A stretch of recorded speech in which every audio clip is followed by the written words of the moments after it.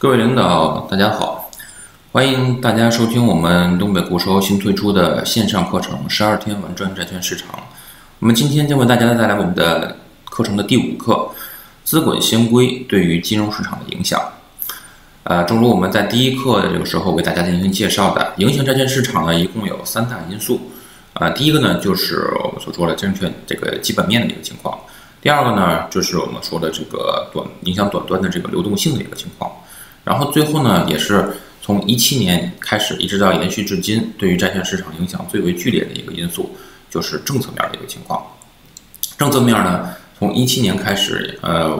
一七年的四月份开始，这个三三四三这种监管的强化，然后再到后期，呃，相关政策的出台，特别是以资管新规、呃，征求意见稿和正式稿的出台呢，对于金融市场的影响呢，是特别剧烈的一个，呃，算是一种标志。而现在呢，仍然处于这个资管新规相关细则在不断推出这么一个时时期，因此呢，对于这个监管方面的这个理解呢，也是我们呃相关报告的一个分析的一个重点。对于债券市场理解呢，也是非常重呃一个重要的一个方面。我们也写了相关的一些报告，呃一系列的报告呢，来对这个监管的相关的一些框架啊，包括一些相关的监管的文件呢，进行相关的解读。也请大家呢可以去浏览我们的公众号，呃，包括呢我们前期为大家录制的这个资管资管产品的这个增值税，也是属于这个我们相关的这个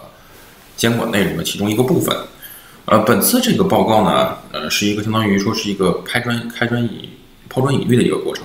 呃，相对这个资管新规呢对于金融市场的一个影响呢，做一个简要的一个呃提纲挈领的一个分析。然后呢，我们将会在我们这次报告的最后一次报告当中呢，对于我们现在这种监管的一个框架，进行一个全方位的一个梳理，并且呢，对于这个监管对于金融市场的一个影响呢，进行一个有这个概括和归纳性的一个总结。呃，后期呢，我们也会推出呢相关的这种监管的一系列的课程，啊，也希望呢能够通过我们对于这个监管的一些相关的。呃，有我们自己的一些独到的一些见解呢，能为大家呃算是一个答疑解惑，同时呢，也为大家对于某些呃公布出来一些一些策一些政策呢，进行一个更为详尽和更为一个通透的一个解读，呃，为各位机构投资者在后面后期呢进行投资呢，呃，做一个指引的一个作用吧。呃，本期报告呢，我们将会通过呢。呃，三个部分进行相关介绍，包括呢资管新规的一个概况，还有资管新规下的机遇，资管新规对于金融市场的相关影响。呃，可能更多的呢，因为这个资管新规的内容呢，呃，一说起来的话会非常的多，它涉及的方面也很广。呃，我们这个这个报告的篇幅也有限，后期呢我们会通过更为更为详尽的课程呢，为大家进行相关的一个解读。这一期呢，重点呢还是一些提纲挈领的一些内容。首先呢，资管新规的概况，呃，资管新规的概况整体来说呢，它是这个反映出了几点，核心点呢就是我们所说的这个打破刚兑，包括呢统一监管的一些框架。具体的反应来说呢，呃，像这种独占的这种资管业务呢，会在资管新规颁布之后呢逐渐消失。当前呢，各金融机构因监管差异享受的独占业务呢，在经过情况下，资管新规下不再享有。监管体系的这种趋同化呢，使各大金融机构呢将会迎来平台上的公平竞争。无论是这个征求意见稿当中的描述，像现阶段银行公募产品以及固定收益类产品为主，以银行公募产品投资二级流入口子，而正式稿中呢，直接清楚了以固定资产投资为主的表述，体现了去监管差异的一步到位。未来的这种监管差异呢，将不会体现在这种金融监金融机构上，而更多呢是体现在这种产品上的差异。这是第一点。第二点呢，就是银行理财呢。将会面临一定程度的转型，因为这个资管新规的核心呢就是打破刚兑，直接的针对的点呢就是银行理财，包括这个同业理财之间的这种呃链条，同业理财到同业存单、同业理财这种呃链条，而这个银行理财呢是其中链条的关键一环。当前呢，银行实行的刚兑呢是为了快速打开这个资产资管市场的一个必然。呃，资管市场呢从呃十年前的十十万亿左右呢，一直发展到现在百万亿呢。这个这种刚兑性的这种这种刚兑这种银行理财呢，是可以说是，呃，对他来说是一个极大的一个贡献。而随着这个资管新规这个落地呢，这种粗暴的刚兑模式呢将难以维持。资管新规的监管这个思路是呢，信息充分披露，投资者风险自担，风险机构收取管理费而非差异，风险的匹配呢，这个收益呢能够互相匹配，禁止呢期限错配。现存的大量的银行理财的产品，民法不符合要求，必将面临这个业务转型呢或者一种收缩。因此呢，打破刚兑呢，可以说是银行这个资管新规一个核心的要点。啊，第二呢，就是资管新规下所呃这个不同的机构啊，包括不同的产品所可以获得的一些机遇。简单来说的话呢，对于银行来说呢，呃，银行可以设立的资管子公司，理由呢就是成立一家资管子公司呢，相当于同时获得一张公募基金的牌照和一张信托公司的牌照。单独成立资管子公司呢，能够更为提供更为灵活的一种激励的一个机制。现在来说的话，像这种十家的银行呢，已经拟设立了资管子公司，包括浦发、中信、招商、华夏、北京、宁波、啊交通、光大、平安和南京，呃，这些都是现在已经呃逐渐有呃相关的呃相关的这种计划，呃已经反映出来的，呃也反映出来这种呃银行呢，在虽然说银行理财出现的风险的情况下之后呢，它呃，另一另一个这个投资的领域的一个不断的打开，所谓上帝关上一扇门的时候，为你开打开一扇窗嘛。呃，这样一来的话呢，银行未来的理财业务呢，在公募产品呃端呢，将和基金的这个公司展开正面的竞争；将私募产品端呢，将和信托呢展开正面的竞争。这也促进了这种金融市场的这种正规的这种竞争化，防止这种野蛮生长的一种呃一种爆发这种这种蕴藏一种危机。同时呢，呃，银行将大量从信托当中挖人，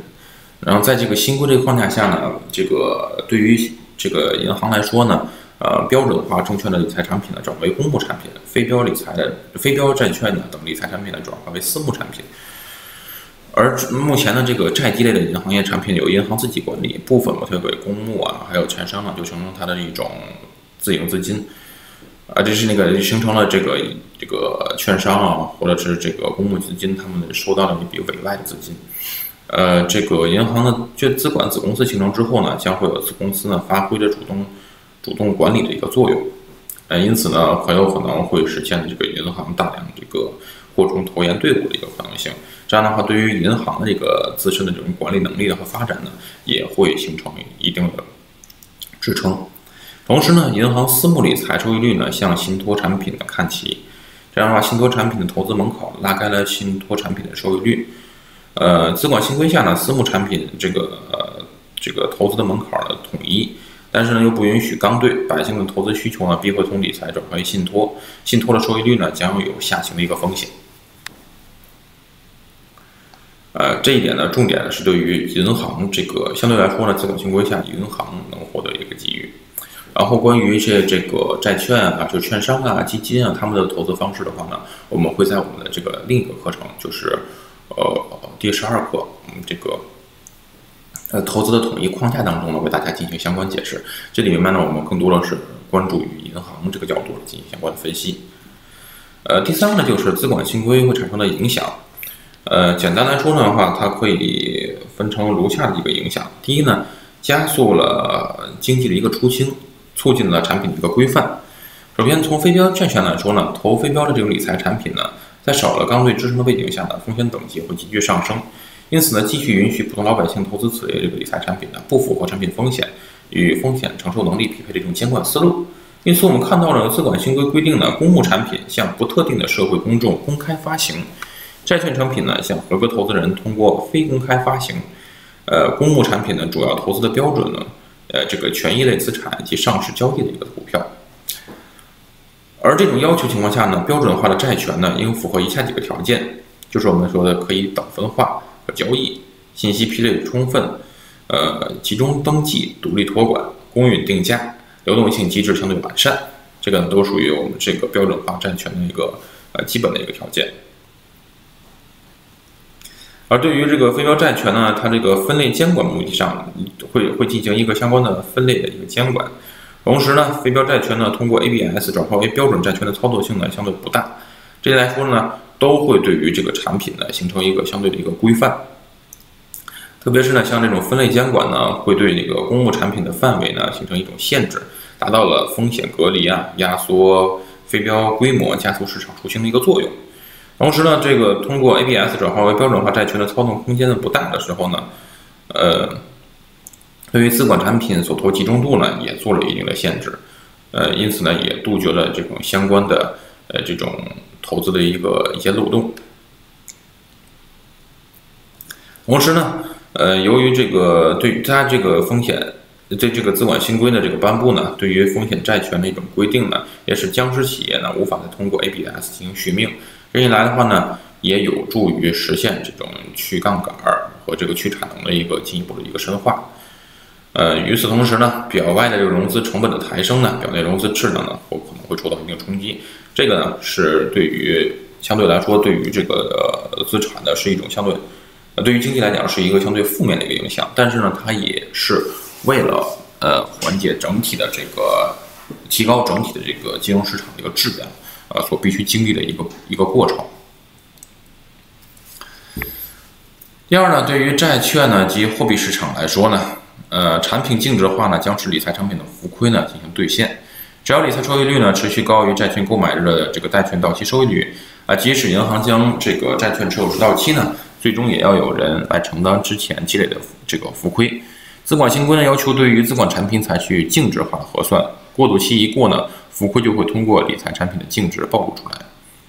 第二就是压缩非标债权呢，会使债券呢及货币市场呢继续向上。监管部门呢可以压缩非标债权的规模，使得年初以来的这个债券市场呢触底反弹。这样的话呢会可以保持一路上涨的一个走势。同时呢，经济的不断。这个出清呢，也将带来债市的频频违约，资金呢会向这个高质量的债券集聚，高低质量债券的利差呢会有可能会增大，这个都是对于债券市场和货币市场的一个影响。然后呢，第三点呢就是表外理财资金分流的一个思考。简单来说的话呢，这个部分理财资金呢可能会回表，表外融资呢将会呈现大规模的一个萎缩。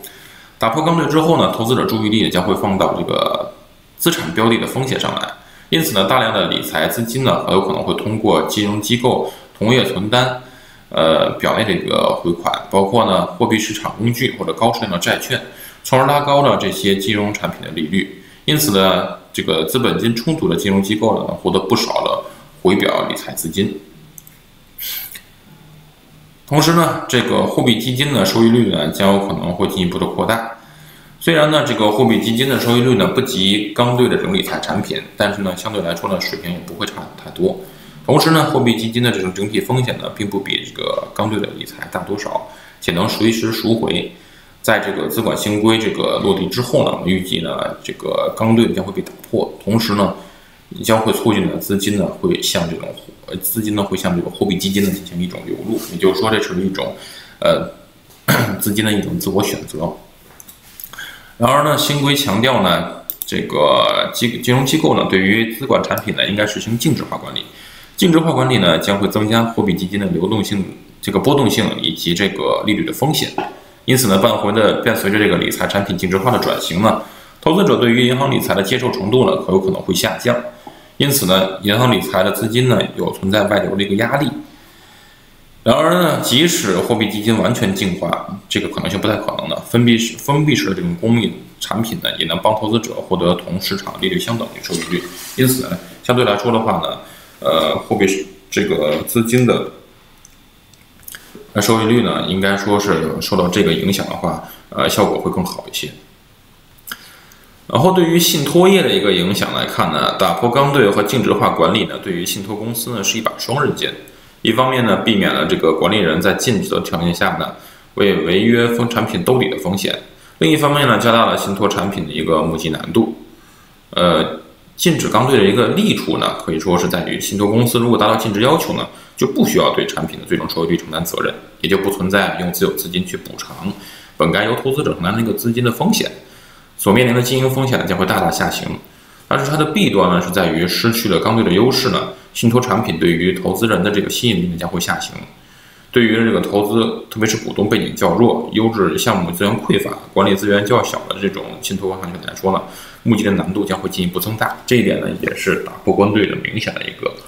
呃明显的作用所在。所以对于信托来说业来说呢，是属于一个利弊兼有的一个状态。消除多层嵌套和通道的规定呢，将会对通道业务占比较重的信托资产的规模产生重大影响，银信业务规模呢将会大幅的削减啊，这也是这个呃大资大资管环境下受到资管新规冲击最为明显的一点。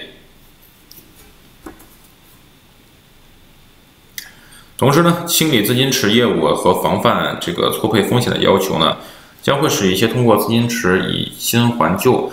呃，期限错配严重的信托公司面临较大的这个流动性压力，可以看出来呢，这个资管新规对于信托业的这个影响呢还是比较大，特别是这种弊端的风险呢，呃，是也是非常强化的。但是呢，它也是一种对信托业的重新再规范。这点我们要说啊，就是对于信托业来说，呃，中国从八二年开始呢，一共进行了五次对于信托业的一个整改。呃，可以说每次的整改之后呢，都效果并不是非常明显，因为它总是能够想出更多的这种绕行的方式。它的其中的主要原因呢，就是在于信托业的这种管理的机制，包括它这个管理的这个体系很不明晰，没有置于在统一的框架之下，并且呢，没没有消除到这个打破刚兑的一个风险，以及呢，这个信托业它投资前期更倾向于与这个银行这个模式相同，这些个也算是一些它的一些特征之上。而这种资管新规呢，呃，在这几个方面呢，都进行相关的一些限制，可以说起到了一个釜底抽薪的一个作用。因此呢，这个这个作用呢，对于对于信托业来讲，可能打击会更大。反映在我们这个呃非标融非标的这个社融当中呢，呃，它的下行非常明显。但是来说呢，从长远角度来说呢，对于信托业的一个健康的发展。